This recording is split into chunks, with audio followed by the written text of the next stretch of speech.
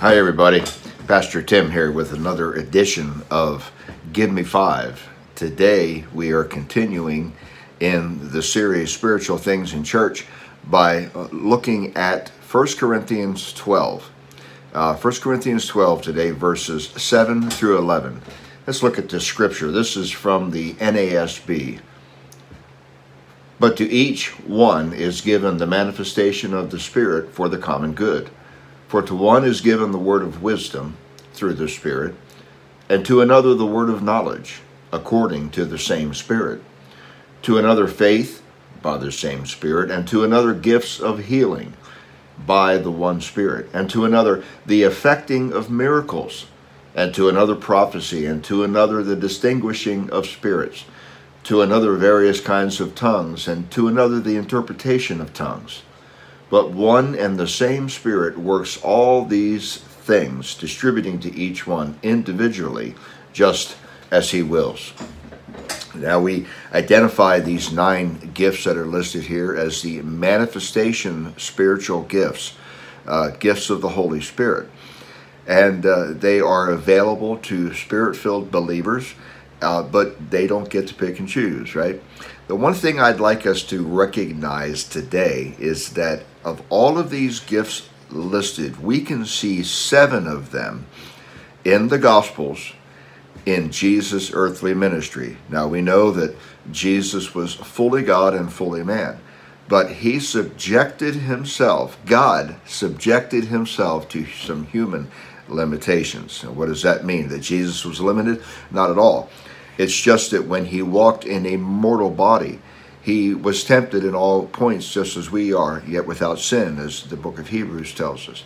That he experienced pain and sorrow and grief and separation and disappointment. He also experienced joy and friendship and, and all of those things that made him very, very human. In his humanity, he needed the Holy Spirit just as we need the Holy Spirit. Uh, we see that in the fact that he came to John the Baptist and, and said, John, I want you to baptize me. Of course, John raised a fuss over that, right? He wasn't worthy to even untie his sandals. But Jesus said, Look, uh, to fulfill all righteousness, this has to be done. And we know that when he was baptized in the Jordan, that the, the Holy Spirit in the form of a dove came down upon him, and the voice from heaven from God said, This is my beloved Son, in whom I'm well pleased.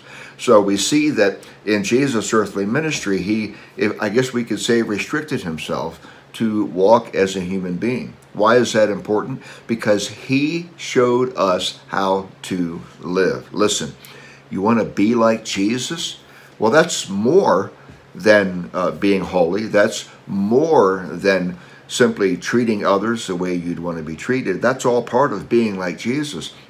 But another important part of being like Jesus is being open to be being used uh, by the Holy Spirit in the miraculous. We see seven out of nine gifts in operation in the earthly ministry of the man Jesus. The two in this list that we don't see are tongues and interpretation of tongues. But what use would that have been? The Holy Spirit had not yet been sent. There would be no one to understand. Now, we do know that Jesus uh, got away by himself to pray. Who's to say that uh, in those times of prayers uh, that there was something beyond his earthly language at play? We don't know that. It would not have benefited the disciples to witness that. So we see, and except for tongues and interpretation, that Jesus himself uh, was used in these gifts. Now, to say all say all that, but I got to say this. Okay, we have to be careful here. To be like Jesus, no one is going to be exactly like Jesus because Jesus is the only way. Jesus was one of a kind in the fact that he was fully God and fully man. But don't forget, Jesus promised his disciples, Greater works will you do in my name than what you have seen me do. Huh? Is could it be that we have uh, convinced ourselves that there's no way that we could be like Jesus in these supernatural ways? I believe, I fully believe that this is what God intended for the church from the very beginning. We see as we look in the book of Acts, we see uh, right away that the apostles first were used in miraculous ways, speaking healing into people's bodies and and the boldness that they operated in, which was something that they didn't have before the day of Pentecost.